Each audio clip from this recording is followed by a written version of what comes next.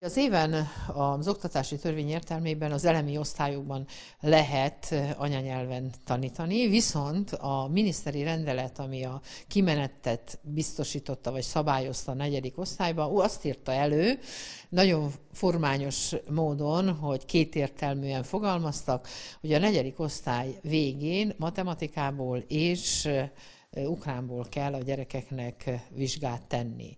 Az első rendeletben, ami még januárban jelent meg, abban még benne volt, hogy vagy az oktatás nyelvéből. Majd valaki korrigálta a szöveget, és a vagy szócska kikerült, és csak az ukrán maradt benne. Erre reagált a Pedagógus Szövetség, nyílt levéllel fordultunk a megyei oktatási főosztály vezetőjéhez és a minisztériumhoz, és erre megkaptuk a múlt héten a választ. Operatívan intézkedtek, és április 25-ével kijött egy rendelet, mely szerint magyar ból is lehet vizsgázni. Mi ezt nagyon fontosnak tartjuk, hiszen az oktatás nem csak arról szól, hogy tanuljanak a gyerekek, hanem az oktatás végén fel kell mérni azt a tudást, amely nyelven tanultak, abból a nyelvből is a tudást, amelyiken tanultak, és milyen magyar oktatási intézmény az, ahol a magyar nyelvi tudásukat nem mérik fel a gyermekeknek.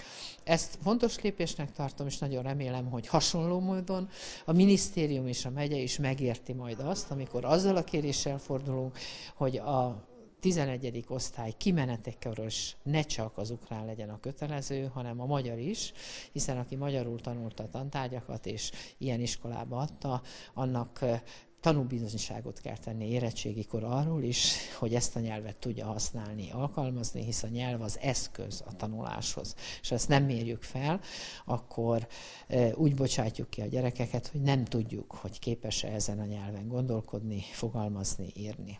Most egyelőre ezt még nem engedi a minisztérium.